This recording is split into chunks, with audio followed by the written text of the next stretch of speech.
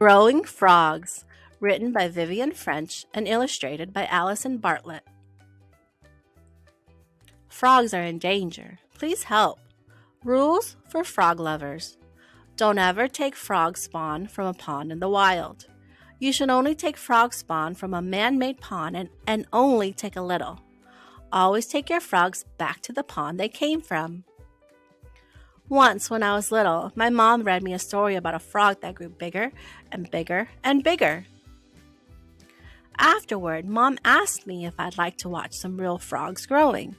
I know where there's a pond with lots of frogs' eggs in it, she said. We could bring some home. I was frightened. I don't want any frogs jumping around getting bigger and bigger and bigger, I said. But mom gave me a hug. It's only a story, she said. Even when our frogs are grown up, they'll still be smaller than my hand. Oh, I said. Okay. The next day, we went to look at the pond. The water was dark brown and there was gray jelly stuff floating on the top. Yuck, I said. There's the frog spawn, said Mom, as she pointed to the gray jelly stuff. I bet that was laid last Friday night. The frogs were croaking so loudly I couldn't get to sleep. Male frogs croak to attract female frogs for mating. Mating occurs when the male frog covers the female's eggs with his sperm. A tadpole will only grow if an egg joins with the sperm. This joining is called fertilization. You see the black dot in the middle of each jelly shell? said Mom. That's going to grow into a tadpole. Where are the frogs? I asked. Tadpoles grow into frogs, she said. Little ones, no giant frogs here. Mom put some pondweed and some stones into a bag. She filled a bucket with pond water. Then I scooped a little of the frog spawn into it. Always use pond water for growing frogs at home. Tap water has chemicals like fluoride in it that might poison the frogs. When we got home, we put everything into a big fish tank in the kitchen. The cat kept peering at it, so we had to put a wire net over the top. I counted 27 little black dots. Each dot was inside its own jelly shell.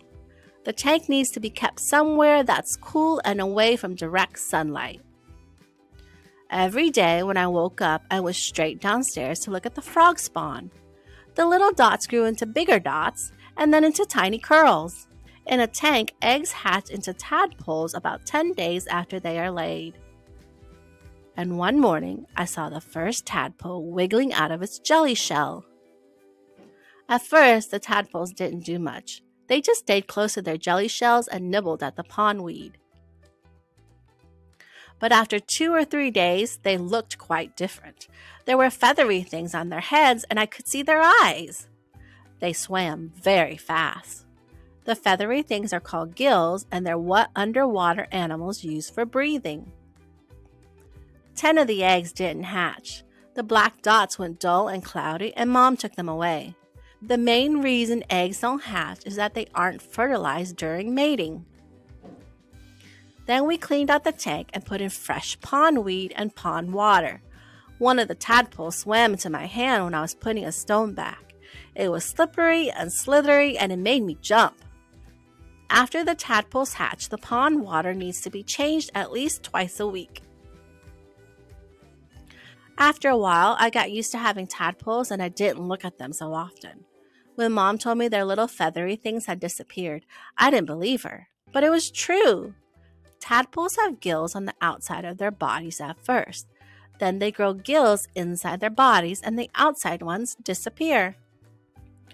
I was the one who saw the next change, though. Look, I shouted, and Mom rushed to see. Some of the tadpoles had grown two little bumps.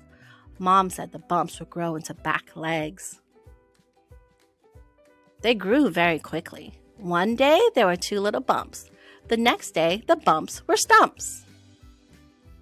The day after that, they looked almost like real legs. And when the legs unfolded, they were webbed like tiny brownish green fans.